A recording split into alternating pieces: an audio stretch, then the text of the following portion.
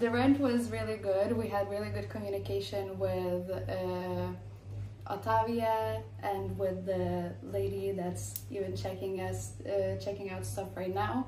Uh, the maintenance was really good. If anything went wrong, the, the people that are uh, that are in charge always were communicative and they solved things pretty quickly. Everything was fine.